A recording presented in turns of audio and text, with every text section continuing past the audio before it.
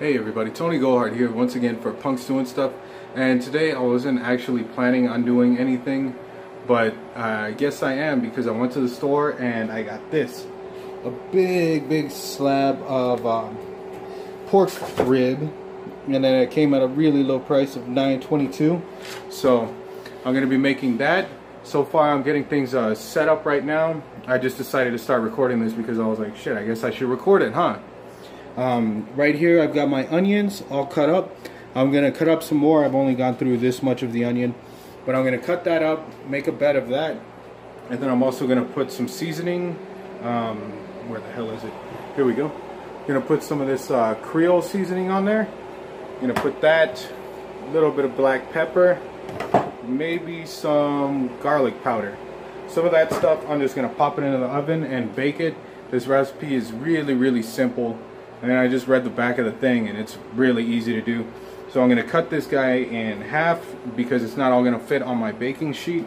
I've got another baking sheet right over here with nothing on it. That one is also gonna get onions on it but I'm gonna cut that stuff up put it on there bake it for two hours at 350 and then that should get it pretty good. Um, let me see what else what else? Uh, I've got bread regular white bread because I'm probably gonna have to eat that in a sandwich because I just had a root canal done today. Um, the swelling is still there, but the numbness is gone, so I can talk now. The other thing that uh, is a must-have for this, big ass jar of pickles, because pickles and pork rib go pretty good together. So I'm gonna slice up some pickles after I cut up this stuff and that stuff, and then get all that put into the oven.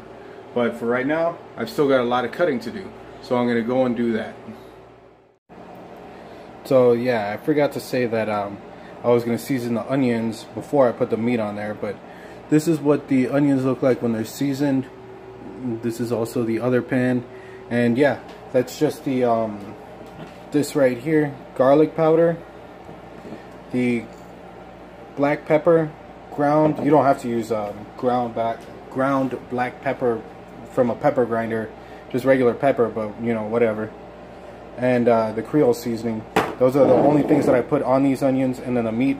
I cut it open and I haven't even gone too far because I didn't want to get too much stuff on my hands but I was going to show you all that and then I'm going to cut this up into thirds put a third here a third there and then for the final third I'm going to try and cut that as close to half as I can and stack it up on top because those are the only cooking sheets that I have and they're pretty small so all this isn't going to fit on there and then I'm going to rub this stuff some uh, barbecue sauce. I've got plenty of barbecue sauce.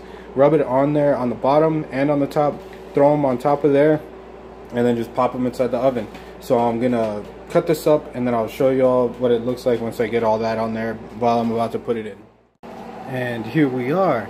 After painstakingly covering these things with uh, barbecue sauce and a little bit more seasoning and topped it off with some onions, Rebecca helped me as I was holding the thing upside down. She squirted on the barbecue sauce and seasoned it and then we flipped it right side up and then covered it with more barbecue sauce and seasoned it.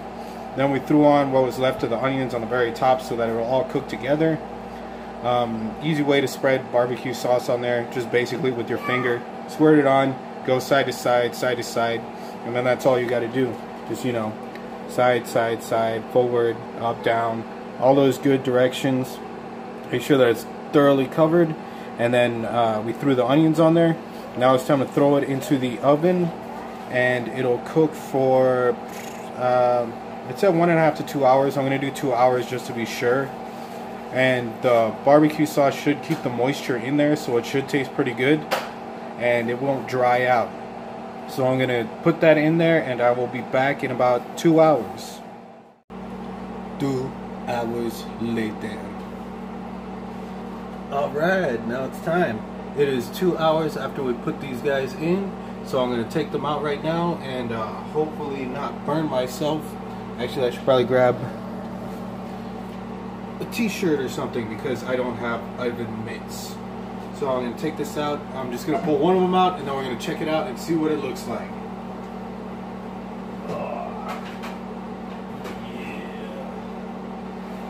Yeah, this is going to be hell trying to take this thing out let's see, we'll grab on one side, grab on the other side. And there we go.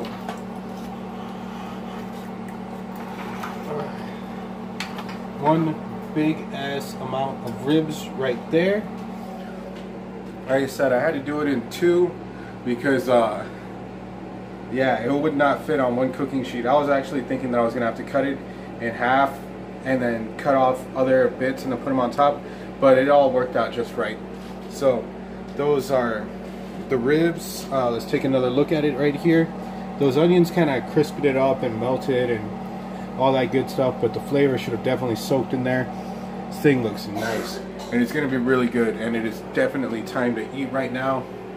Um, my mouth is still a little bit tender from the uh, root canal, but I'm just gonna have to cut the bits off and then you know um, just eat it like that. Just cut it off of the bone instead of actually grabbing onto the bone and eating it. But that's what happens whenever you have a root canal the day you decide to eat ribs. But like I said, it was just too good of a deal to pass up. So anyway, yeah, that was the whole thing. Very, very easy to do. It just happens to take a really, really long time. So um, yeah, that was that for this one. I've also got my battle vest video that I'm still making. I've actually got the stuff inside this box over here.